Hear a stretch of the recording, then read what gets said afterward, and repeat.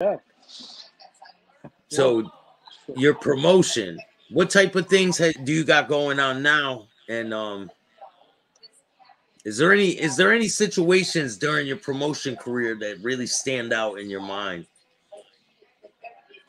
You know, it's all kind of a blur to me because 30 years has gone by quick.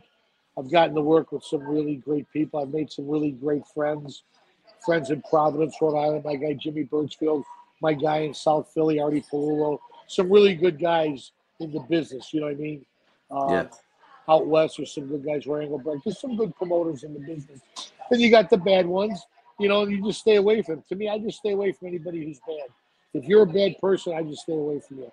I don't do business with you. And even in my lawsuit, when I was winning the lawsuit, and the other side wanted to make a deal with me, saying, "Well, why don't we just be partners? We'll pay you some money, and we'll be partners."